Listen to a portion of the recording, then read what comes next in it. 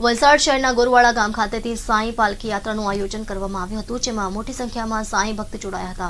વલસાડ શહેરના ગોરવાડા ગામના નહેર ફળિયા ખાતે આવેલા ખોડિયાર માતાના મંદિરેથી નીકળેલી સાંઈ પાલકી યાત્રા વગલધાર ગામના ટીમલી ફળિયા સુધી ગયા બાદ યાત્રાનું સમાપન કરવામાં આવ્યું હતું.